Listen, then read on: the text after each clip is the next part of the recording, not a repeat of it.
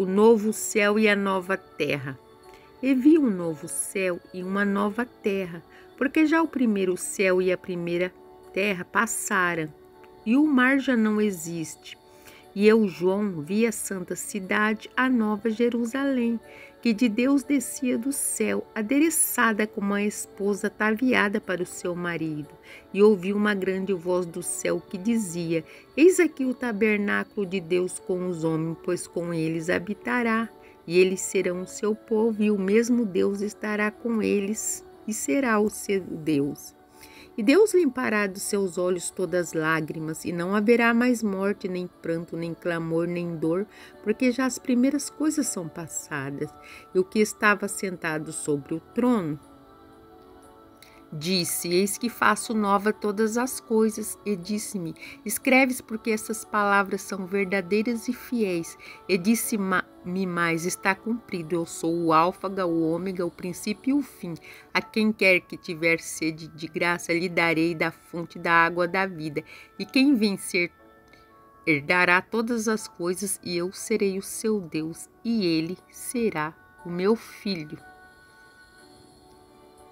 Essa palavra fala de um novo céu e uma nova terra a qual Jesus foi preparar para aqueles que foram fiéis na terra, para aqueles que servem com sinceridade, aqueles que se santificam, aqueles que nasceram de novo, aqueles que, que não se contamina com as coisas do mundo, aqueles que se santificam, aqueles que estão como as cinco virgens prudentes que vigia.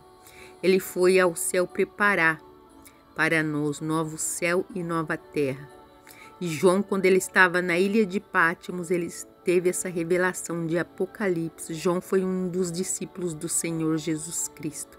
Quando ele estava prisioneiro ali na ilha de Pátimos, ele teve essa revelação, a qual o Senhor Jesus mostrou para ele as coisas que iam acontecer nos últimos tempos. Então, também ele viu o novo céu e a nova terra que o Senhor estava ali construindo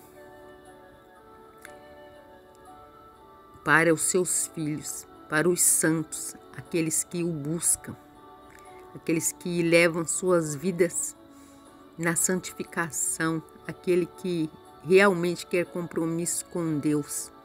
E o Senhor foi preparar Ainda a palavra fala, vem dizer, essas palavras são fiéis e verdadeiras, eu, está cumprido, eu sou o álfaga e o ômega, que quer dizer o princípio e o fim. A quem quiser ter sede de graça, lhe darei da fonte da água da vida, que é a eternidade. Né?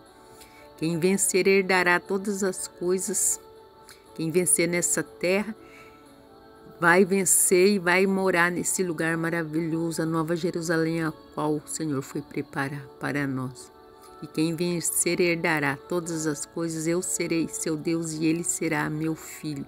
Ali não haverá dor, não haverá tristeza, não haverá morte, porque o Senhor Jesus Cristo não, não permitirá.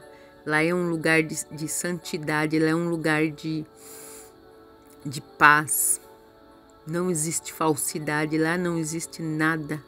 Lá a traça não chega, lá a ferrugem não chega, lá o ladrão não chega e somente paz e ali adoração ao Senhor para a eternidade. Aqui nós estamos só de passagem. A eternidade ela começa a partir do findar das nossas vidas, ou quando o Senhor Jesus Cristo vier buscar o teu povo, o teu povo escolhido. Nós Aqui nós sentimos dores, sentimos é, tudo quanto é tipo de, de coisas, existem as enfermidades, mas lá no céu não, lá no novo céu e a nova terra lá vai ser eterno e não vai ter nada dessas coisas. Então vale a pena se sacrificar e entrar na eternidade. Só há dois caminhos: o céu e o abismo. Então nós temos que ficar com o caminho estreito. O largo é o caminho que leva à perdição. Então nós temos que escolher o estreito que nos leva ao novo céu e à nova terra, que é a nova Jerusalém, a qual o Senhor foi preparar para os seus filhos. Deus abençoe a cada um e fiquem com Deus.